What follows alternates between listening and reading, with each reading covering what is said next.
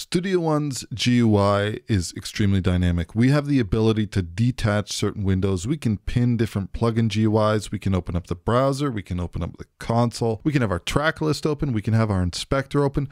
Now, all of these functions are useful at certain times. And maybe you're working in a circumstance where you want to have all of this stuff open, but what happens when you want to immediately declutter your entire screen? For that, we have a function called toggle optional views. Now, I'm going to fire that off and you can see that immediately I've cleared my whole screen and I've restored my song to pretty much just my arrange window. Now, if I click that again, it brings me back to my starting point.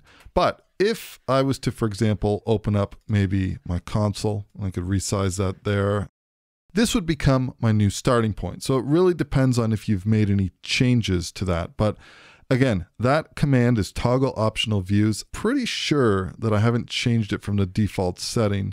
But if we go to keyboard shortcuts and we find toggle optional views, you'll see over here Shift F12. And like I said, I'm pretty sure that's the default mapping. But if you'd prefer to have it mapped to something else, you can just go ahead and change this and enter a new key command. But that's something I find really, really useful when I just need to really quickly clear things up when I have way too many things open, plugin GUIs, boom a quick firing of that key command, and I've just decluttered my whole entire screen. So that's a quick tip that I wanted to share with you. Anyways, that's all the time I've got available for today.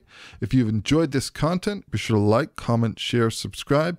Any questions, leave them down below. I'll do my absolute best to get back to you. And as always, we will catch you in the next video. Cheers.